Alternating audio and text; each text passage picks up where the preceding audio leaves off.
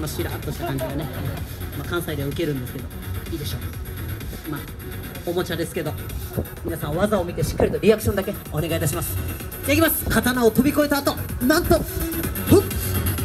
まあちょっと待ってちょっと待って。ちょっと待って。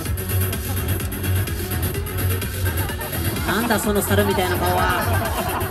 キーやない。今完全に油断してたやろ。こっち向きなさい。完全に油断してた。ドキーじゃないよ。気をつけしてちゃんと。おや緊張緊張感持って。ねお客さんが優しいからって中途半端にやらない。ごめんなさいもう一回いきます。ちゃんと集中してけっ刀を飛んだと。ふっ。よしお前回りありがとうございます。入りますね。えこれ意外と難しいんです。ノーマットの地面に。ふっ。頭からよしだいぶしますからね。おい いちいち偉そうですからね。すいません。もう本当にねこれ練習では今でも彼マット引いてやってるぐらい。なかなか危険な技ではあるんですけどもう今日のお客様タイプは分かってる。んでこの辺や間やってもこのうわーとかなるタイプじゃないと思う。んでこの辺はもう関西でやるんで大丈夫です。一番高いところで行きましょう。ね、まあ、予定が来てると思うんでもう一番高いとこ。スペシャルバージョンで。ちょっと風はありますけどじゃあ思い切ってもうこの高さで。はい勝負をさせてもらいたいと思います。全員で盛り上がってもらってもよろしいでしょうかあ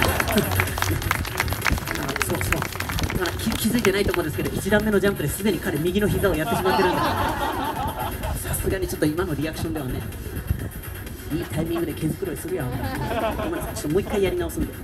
そんな難しいことはお願いしてないです。上げたらうわーってやるっていうコーナーをねやってると思っていただいたら結構なんでちょっと一回だけちょっと全員参加で協力してくださいじゃあいきますごめんね子供たち。今からやることちょっと大人の世界でやらせって言うんだけど上げたらねうわーってやってくれたらいいから。いい？ちょっと一回だけ全員で協力して。ごめんね。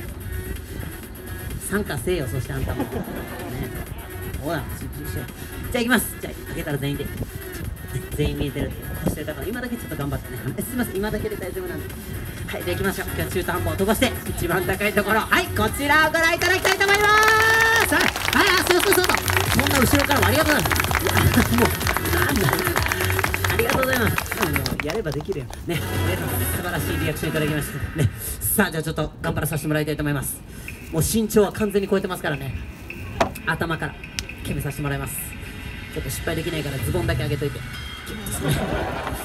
彼なりにちょっと気合い入れてますんで。よし。じゃあいきますよ。ちょっと風が。早めにいきます。頭から決まったら褒めてあげて。頑張れ。いや